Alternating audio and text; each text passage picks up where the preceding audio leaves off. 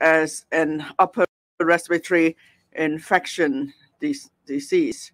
And then the uh, SAR government has two major objectives in the near future. First, we'll focus on developing the economy, and we will be uh, promoting Hong Kong to overseas uh, on all fronts. Secondly, we're going to plan for full normalcy, full return to normalcy. And we're going to um, regularize uh, effective measures. And in the light of um, um, evolving circumstances, we will keep enhancing our response.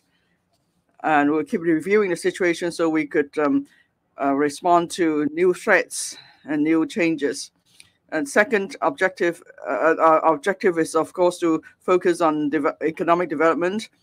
And um, the um, reopening of the border is, of course, one of the most important uh, and effective measures in economic uh, promoting economic development. And as we uh, move in tandem with um, the situation around the world, we will start again promoting Hong Kong.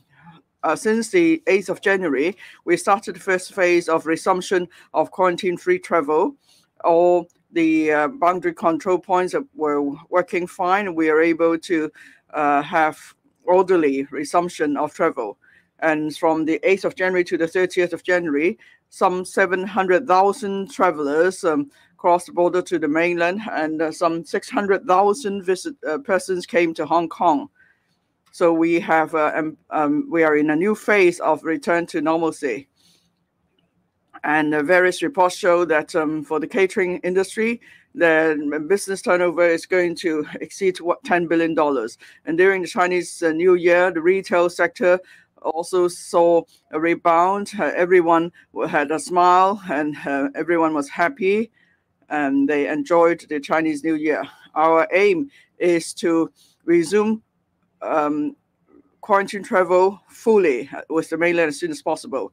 Uh, during uh, the past period, we've been in close liaison with the relevant authorities on the mainland. I am confident that soon we will have full resumption of quarantine-free travel across the boundary. And I uh, hope to be able to announce good news soon. That would include removing the PCR test requirements, increasing or removing the quota arrangement, and so on. And also,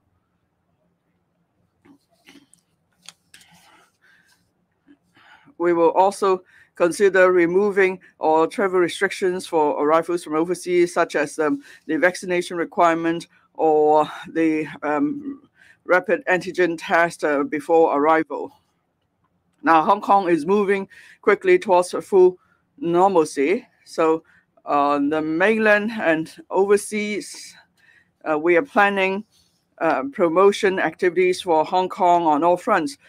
Two days later, we're going to start a major relaunch uh, ceremony, and we'll be announcing various activities to promote Hong Kong. Um, so uh, there is a theme, Hello Hong Kong. There will be a major publicity event. The government will be leading various delegations to overseas countries and to the mainland to actively promote Hong Kong, um, covering um, business, commerce, um, tourism, cultural exchange, and so on. And this Saturday, on the 4th of February, I'll be leading a Hong Kong SAR delegation to visit Saudi Arabia and the United Emirates. And the um, Deputy um, finance uh, Attorney General, the Secretary for Commerce and Economic Development, Secretary for Financial Services and the Treasury, and 30 delegates uh, from um, the professional sectors, uh, innovation sector, business sector, and financial services sector will uh, also be traveling with me. And then they will be promoting investment and cultural exchange with Hong Kong. And so, so we will provide for business opportunities. The second objective of a full return to normalcy. Now, for effective measures, they will be regularized. And then we will have regard to the actual situation to keep enhancing our response to emergencies so we could deal with new threats. In the process of planning for full return to normalcy, we will have to consider um, um, other measures in response to the pandemic. And also, we will take stock of the experience we've had so far, and then we will incorporate effective measures into our day-to-day work, making them regular measures. Some individuals believe that uh, there is need for us to conduct an, an, independent investigation into the various uh, anti-epidemic measures. Um, some others uh, disagree, to, and I disagree too. Uh, to that uh, proposal. Now, in the past three years, we uh, around the world we faced a, a, new disease, a new virus. It um, caused um, the deaths of um, 6.7 million people to pass away, and then um, for the UK, the death rate is uh, uh um, compared to Hong Kong is 1.8 times of our death rate, and then uh, we we immediately advise measures to combat the ep epidemic. There's never the best practice or best way to deal with um, such an issue. I agree we need to take stock of experience so we could deal with new threats in future in a more effective manner in the past um, um, few months uh, since we took office, we've been uh, reviewing the various measures. We want to make sure that our government is able to respond to new threats and new changes. Since the uh, assumption of office of this uh, term of government, we've been uh, reviewing various um, measures and enhancing these measures. First, we have set up a new command structure, the CE, as uh, is leading a, a, coordination task force, and also there is a special task force led by the Secretary for Health on combating the epidemic, and then different um, heads of uh, um, um directors bureau also lead different task forces to respond to um, the pandemic, so that we could um, come up with some measures uh, that are targeted and, and rapid and effective. And also we have um, alert um, um, response um, system so that we could take various measures as necessary. And also we have uh, enhanced the safety efficiency. And then we have strengthened our healthcare system and also management of uh, residential care homes. And then uh, those were four measures. And the fifth measure is that uh, we have um, various target measures to um, manage high-risk groups, in particular the old and the young. The sixth measure is that uh, we have adopted a science-based measure to gradually remove social distancing measures and various other measures. And yesterday we removed the isolation arrangement. Since this government took office, we have been planning to um, connect with the world and also to plan for full resumption of uh, quarantine-free travel with the mainland. So these are the uh, outcomes of our of our effort to keep reviewing and enhancing our measures. The self measures that we uh, uh, have an interdepartmental coordination so that we are able to mobilize government manpower uh, at the first instance. And there could there are also community care teams that we could mobilize as necessary and the different government departments, including the Labor and Welfare Bureau and the Health, uh, Hospital Authority, will keep uh, taking stock of experience as the pandemic evolves. And effective measures were included in guide into the guidelines, and they will become regular measures. They will also keep um, reviewing and updating the guidelines. So this would it would be the best and most effective approach in uh, coping with um, pan uh, the pandemic. And also, uh, in planning for full return to normalcy, we have to consider uh, various um, issues arising from the epidemic. For example, the future arrangement for isol community isolation and quarantine facilities. I have asked the Deputy Financial Secretary to coordinate this effort. The, they will assess uh, possible changes uh, to um, the uh, in the pandemic, and then uh, he will analyze the needs of the community and so on. And so, while we have sufficient um, uh, emergency facilities at the same time, we could uh, make good use of uh, some of the isolation facilities and the sites um, where these facilities are located. Now, during the pandemic, we have been uh, working hard to uh, respond to different circumstances.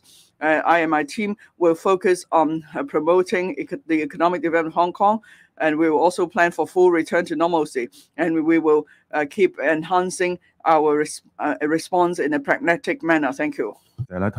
Floor is now open to questions. Please limit yourself to two questions. Please first identify your press outlet and use our microphone. We will start with the journalist in white. Kari, I'm from Bloomberg. I wanted to ask uh, Chinese tourists will be facing barriers to obtaining uh, tourist visas to come to Hong Kong compared to Macau. What do you plan to do to tackle this challenge, given that the city needs mainland tourists to revive the city's economy? And when do you plan to make the announcement on mask removal? Secondly, uh, what will you discuss on your trip to the Middle East, and to what extent might this reflect the government's efforts to diversify assets? Um, and will you be seeking to court Middle Eastern companies to IPO in Hong Kong and/or attract other assets to the city? Thank you. Yeah, you repeat your second question. Uh, what will you discuss on your trip to the Middle East, and to what extent um, do you feel that this reflects the government's efforts to diversify inve investment assets? Will you be seeking to court Middle Eastern companies to IPO in Hong Kong and or attract other Middle Eastern assets to the city? Uh, well, first of all, uh, since this government uh, assumes office, we have been preparing uh, various measures so as to open up Hong Kong and uh, make uh, decisions uh, according to uh, data and risks. I have explained earlier in my beginning uh, speech uh, about the various measures that we have um, put into.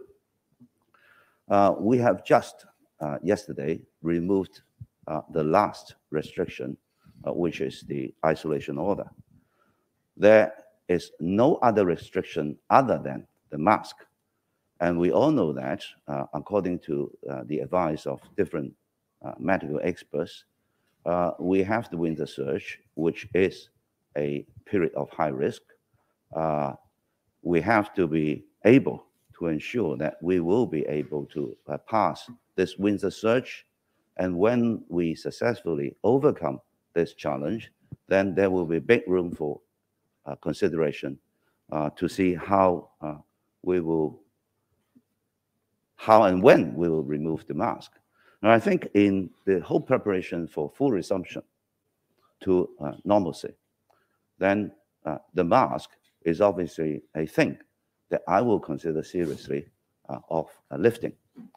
Um, then when we pass the winter surge, when this high-risk period uh, is passed and we manage it, then I will look at the uh, situation at that time and decide uh, when will be the best time to lift it.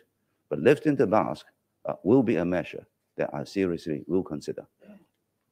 As regard my trip to the Middle East, then obviously this is one of the programs that I have said many times since the announcement of my policy address that we will tell the good Hong Kong story. Now we have resumed normal. Uh, it is time for us to go out and tell people that Hong Kong is as normal as before the COVID-19.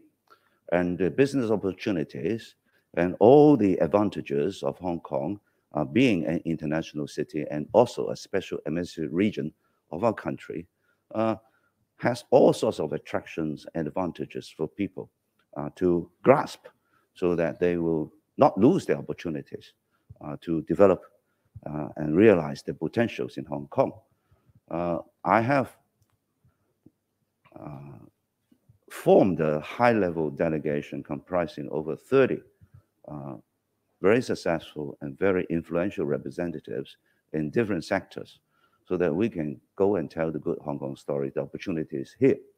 Then, of course, um, the visit to the Middle East is also a reinforcement of the policy of President Xi Jinping uh, in his uh, visit uh, to Saudi Arabia when he make uh, his policy speech about uh, how to capitalize on the initiative of One Belt, One Road uh, so that we can um, help uh, different countries uh, to um, make use of good opportunities uh, that we can offer, as well as we make use of the opportunity to develop our economy and further strengthen uh, the different potentials uh, and increase our competitiveness.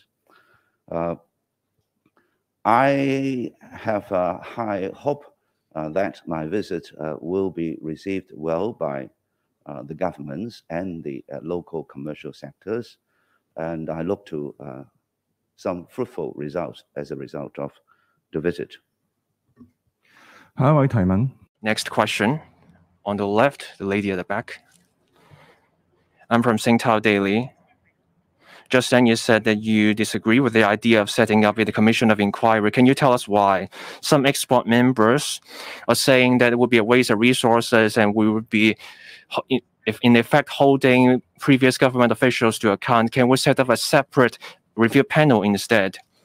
Recently, we have seen a peak of Hong Kong people from the mainland returning to Hong Kong, but there were long queues at the boundary control points. The officers stopped checking the PCR test results. So what's the obstacle? What's holding up our discussions with the mainland? Why can't you tell us a new plan yet?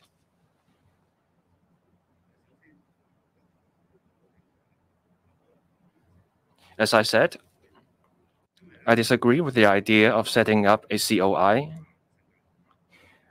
We have entered a new phase of COVID. We have two objectives for this phase. First, promoting economic development. Second, resumption of normalcy. We have to look forward. I agree that we have to learn the lessons to ensure we can respond to possible future challenges.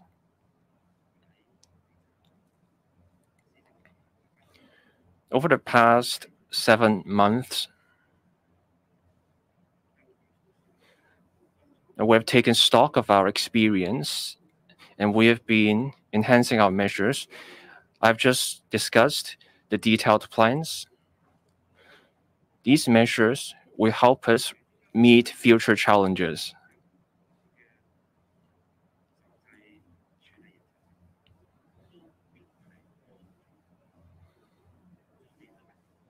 Handling any pandemic will require adapting to the circumstances. I can toss around a hundred plans today, but then something new comes up tomorrow, and that will call for new plans. So we will have to work on the system in tackling pandemics. This will also involve a strategy, policy philosophies,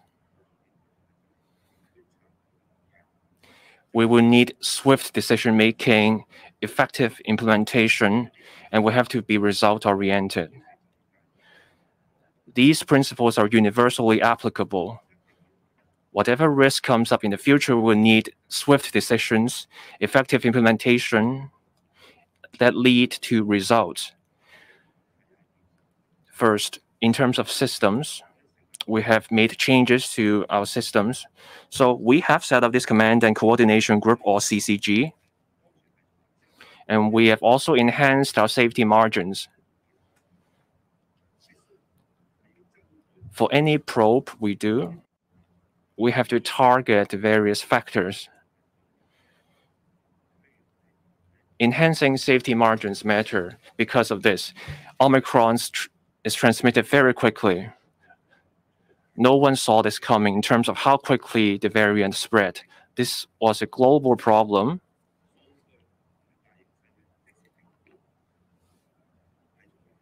So there was a need to look at the data and arrive at a decision. Enhancing our safety margins also mattered.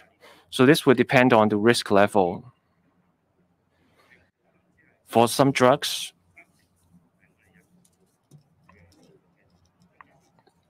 we may set aside the inventory of 30% above our usual level, but at other times we may have to bump it up by 50% or double the inventory levels.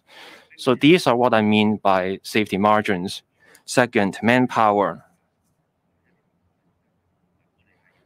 For large scale operations, you need the manpower. That's why we have this government-wide mobilization plan in place. This is also mentioned in my policy address. To ensure we have the capacity to respond to challenges, we have to manage risks, enhance our safety margins, and also have an effective decision-making and execution mechanism. And we have to continuously monitor the situation to get a sense of how things are developing as quickly as possible and then arrive at a decision. We also have to regularize the tried and tested measures.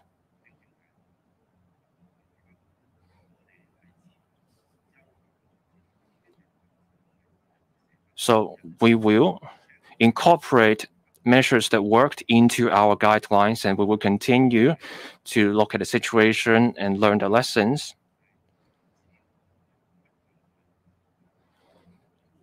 The current term government takes stock of the experience, and this is also the kind of organizational culture I want to build up. This is the more effective way forward. I look at the results in whatever we do. What are we trying to achieve? We want to stay flexible and agile in meeting challenges. Next question. We're almost out of time, so we will take this question as the last question. 係邊個？係你好，Now TV 嘅，就想追問翻特首咧，就今日都未取消到核酸檢測嘅阻礙喺邊，即係喺內地定喺香港方面嘅。第二就係政府取消咗呢個隔離令啦，但係留意到有私家醫生咧就拒絕幫新冠病人應診嘅。咁點睇呢個現象？政府會唔會出翻一啲指引咧？唔該晒。啊，多謝你呢個問題，因為剛才都有問係誒通關啊、核酸檢測嘅一啲細節嘅。